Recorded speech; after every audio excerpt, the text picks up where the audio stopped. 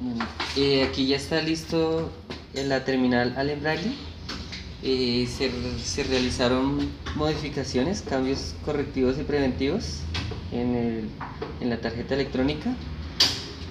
En estos momentos pues se le ha suministrado 24 voltios para, compro- para comprobar su funcionamiento.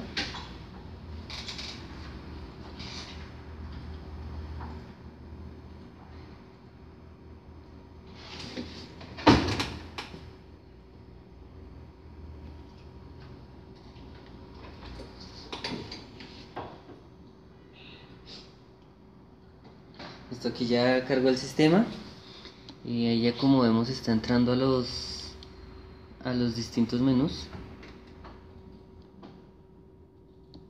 Entonces ya se comprueba de que la parte de touchscreen está bueno.